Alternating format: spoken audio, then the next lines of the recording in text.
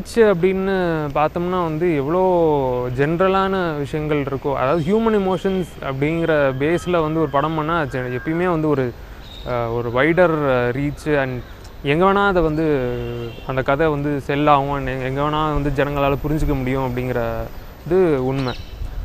So வந்து I think Tamil cinema வந்து இப்போ தமிழ் சினிமாவுக்கு உ- உள்ள reach because of the language அப்படின்னு பார்த்தோம்னா ஒரு சர்க்கிள் தான்.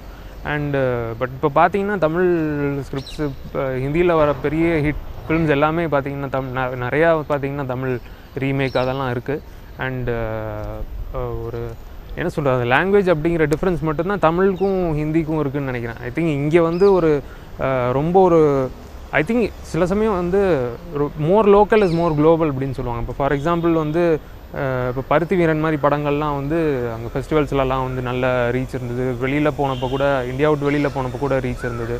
அண்ட் அங்கேயுமே பார்த்தீங்கன்னா gangs of gangs of Wasseypur போடுற மாதிரி ஒரு படம் வந்து கேன்ஸில் ஸ்க்ரீன் ஆச்சு. அண்ட் அங்கே அங்கே வந்து அவங்களுக்கு பிடிச்சது. அண்ட் ஓ இந்த மாதிரி வந்து அவங்களுக்கு புதுசாக இருந்துச்சு. பட் அதை தவிர்த்து வந்து இப்போ இப்போ வெளியில் அவுட் ஆஃப் இந்தியா பார்த்தீங்கன்னா வந்து இந்தியாவில் இருக்கிற படங்கள் வந்து இன்டர்நேஷ்னல் ஃபிலிம்ஸ் அப்படின்னு பார்த்தீங்கன்னா ஒரு ஸ்லம் டாக் மில்லியனர் தான் வந்து அவங்களுக்கு ஒரு பெஞ்ச் மார்க்காக இருக்குது ஸோ இந்தியானா இப்படி தான் இருக்கும் போல இருக்குது அப்படின்னு வந்து ஸோ வந்து இப்போது இந்தியாவில் வந்து ஒரு உட்காந்து லேப்டாப்பில் உட்காந்து ஒர்க் பண்ணிகிட்டு இருக்காங்களோ இல்லை ஒரு ஸ்மார்ட் ஃபோன் வச்சுட்டு சுற்றிட்டு இருக்கிறாங்களோ அவங்களுக்கு வந்து ஒரு பெருசாக ஒரு புதுசாக தெரிய மாட்டேங்குது. பட் ஐ திங்க் அந்த பேரியரையும் வந்து உடைக்கணும்னு நினைக்கிறேன். இங்கே இருக்கிற ஒரு ஏர்பன் சப்ஜெக்ட் அண்ட் ஏர்பன் பீப்புளுக்குள்ளே நடக்கிற சில விஷயங்களை பற்றி கதைகளும் வந்து I think should break country borders and go to வெளியில் இருக்கிற ஃபெஸ்டிவல்ஸ் அங்கெல்லாம் கூட ரீச் ஆக ஆரம்பிக்கணும்னு நினைக்கிறேன். பட் ஐ திங்க் ஒரு ஜென்ரலாக வந்து நிறைய பேர்த்த வந்து சாட்டிஸ்ஃபை பண்ணணும் நிறைய பேர்த்த வந்து ரீச் பண்ணணும் அப்படின்னா ஹியூமன் எமோஷன்ஸ் அப்படிங்கிற அந்த பேஸ் அப்படிங்கிறது இருந்துச்சுன்னா ஐ திங்க் எல்லா இடத்துலையும் கனெக்ட் ஆகும்னு நினைக்கிறேன். அதனால தான் வந்து டைட்டானிக் மாதிரி ஒரு படம் வந்து இங்கே வந்து தமிழ் இங்கிலீஷ் தெரியாதவங்க கூட பார்த்து வந்து ரசிச்சிருந்தாங்கன்னா அது தட் ஹியூமன் எமோஷன் அந்த லவ் அந்த ரிலேஷன்ஷிப்ஸ் அப்படிங்கிற அந்த விஷயம் தான் ஸோ ஐ திங்க் எவ்வளோ கோர் ஹியூமன் இமோஷனை பேஸ் பண்ணி ஒரு படத்தை இமோஷனல் கோர் வைக்கிறோமோ I think it will be more global நினைக்கிறேன்.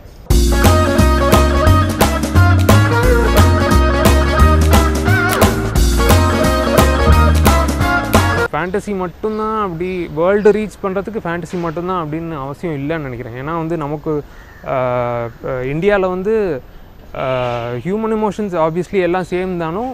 இங்கே நடக்கிற பிர பிரச்சனைகள் அண்ட் இங்கே வந்து ஜனங்க வந்து சில விஷயங்களுக்கெல்லாம் எப்படி ரியாக்ட் பண்ணுவாங்க அப்படின்னு வந்து இன்னும் பீப்புள் அவுட் சைட் இந்தியாவுக்கு வந்து அந்த அந்த விஷயமே தெரியல. இப்போ ஃபார் எக்ஸாம்பிள் இரானியன் ஃபிலிம்ஸ் மூலமாக வந்து எவ்வளோ டீப்பாக போய் வந்து அந்த குட்டி குட்டி ஹியூமன் இமோஷன்ஸ் அண்ட் சின்ன சின்ன விஷயங்களை வச்சு ஒரு படம் பண்ண முடியும் வேர்ல்டு ரீச் கொடுக்க முடியும் அப்படின்னு வந்து இப்போ இப்போ இப்போ இப்போ மஜித் மஜி அவரோட படங்களை பார்த்தோம்னா ஈரானில் வந்து ஜனங்க இப்படி இருப்பாங்க அப்படிங்கிற ஒரு ஐடியா கிடைக்கும் இல்லையா? ஸோ அந்த மாதிரி வந்து இந்தியாவில் ஜனங்க இப்படி இருப்பாங்க அப்படிங்கிற அந்த ஒரு ஐடியாவை அந்த புதுமையை வந்து நம்ம வெளியில் கொண்டு போய் காமிச்சோம்னா they will know more about our people and our cinema also so அதனால் இப்போ வந்து instead of aping Hollywood and outside films and இப்போ வந்து ஒரு ஒரு ஹைடெக் சூப்பர் ஹீரோ படம் எடுக்கிறோன்னா அது வந்து அவங்க ஆல் ஓவர் த வேர்ல்டு அவங்க அடிக்கடி பார்த்த விஷயம். ஸோ அங்கே அவங்க டெக்னிக் வந்து இங்கே கொண்டு வந்து இங்கே வந்து ப்ளேஸ் பண்ணி வந்து திருப்பி அதை வெளியில் கொண்டு போகிறதில்ல ஐ டோன்ட் திங்க் அது வந்து ஒரு பெரிய அட்ராக்ஷனாக இருக்கும்னு தெரியல எனக்கு. ஸோ வந்து இங்கே ஒரு புதுமையான விஷயம் அவங்க பார்க்காத விஷயத்தை நம்ம கொண்டு போய் காட்டும் போது தான் நம்மளோட இண்டிவிஜுவாலிட்டி அண்ட் நம்மளோட ஒரிஜினாலிட்டி வந்து இது வெளியில் தெரியும்னு நினைக்கிறேன்.